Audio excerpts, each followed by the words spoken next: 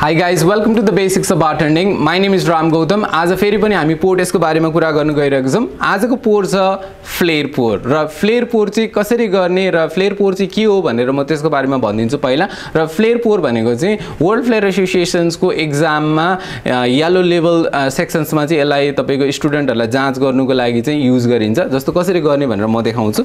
र यसलाई चाहिँ रेगुलर पोर नै गर्ने हो तर एकचोटि हेरौँ है त। जस्तो पोर बााउन्स स्विच अनि यसमा फर्किनु पऱ्यो पोर बााउन्स स्विच है? र यो गर्नुको लागि चाहिँ सुरुमा चाहिँ हामीले त्यही पहिलाकै रेगुलर पोर नै हो।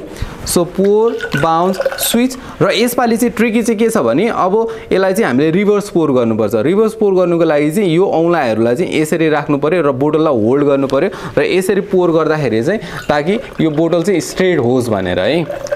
र सुरु सुरुमा चाहिँ अलिकति गाह्रो हुन्छ है त? र यसरी पोर बााउन्स अनि स्विच गर्नुपर्ने हुन्छ। र मैले एकैचोटि गरेँ भने चाहिँ यस्तो देखिन्छ है? सो पोर बााउन्स स्विच र पोर बााउन्स अनि स्विच र यसरी नै हामीले चाहिँ फिफ्टी एमएल निकाल्नुपर्ने हुन्छ। यल्लो लेभल ग्रेडिङ दिँदाखेरि चाहिँ जस्तो फिफ्टीमा फिफ्टी आयो भने चाहिँ फाइभ पोइन्ट्स आउँछ। त्यसमा तपाईँको जस्तो फोर्टी नाइन आयो भने फोर पोइन्ट्स आउँछ र फोर्टी एट आयो भने थ्री पोइन्ट्स आउँछ र फोर्टी सेभेन आयो भने टू पोइन्ट्स आउँछ र फोर्टी सिक्स आयो भने वान पोइन्ट आउँछ र फोर्टी फाइभ आयो भने जेरो आउँछ। फाइभ पोइन्टको मात्रै टोलरेन्स हुन्छ। र एकचोटि म फेरि गरेर देखाउँछु। अब मैले एक्ज्याक्ट फिफ्टीमा फिफ्टी नै निकाल्छु भनेर त म भन्दिनँ। अब कति आउँछ है?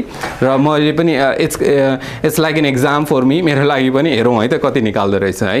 र पोर बााउन्स स्विच र पोर बााउन्स स्विच। र यो गर्दाखेरि चाहिँ हामीले जस्तो फोर फोर काउन्ट गर्दाखेरि चाहिँ ठ्याक्कै निस्किन्छ। मेरो अलिकति थोरै आयो होला है जस्तै हेरौँ है त।